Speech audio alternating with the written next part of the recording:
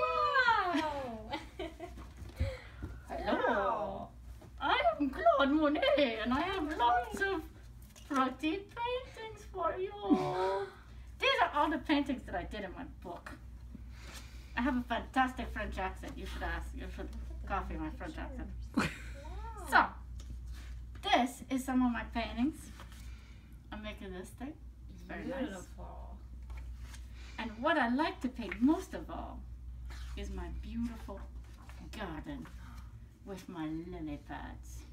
That's what the lily pad's about. Mm-hmm. So what I like to do is I like to paint these lily pads and I like my bridge. See, there's a bridge here. This is my bridge and I like it a lot. So I paint it all the time. I paint it Monday, I paint it Tuesday, I paint it Wednesday, I paint it Thursday. I paint it all week long, every day, same thing. Sometimes people get bored, but I don't. I like it a lot. And so I think that I'm gonna have you paint my bridge. Would you like to paint a bridge with me? You want to paint a bridge? Yes. It's gonna be fantastic. That'd be beautiful. It's gonna be beautiful. And we're gonna do it together. I even have, this is a very expensive book.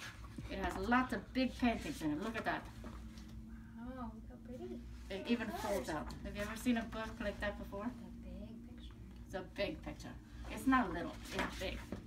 That makes it more exciting. Mm-hmm. So what we're gonna do is we're gonna move to my beautiful table and we're gonna do some painting together. Do some painting?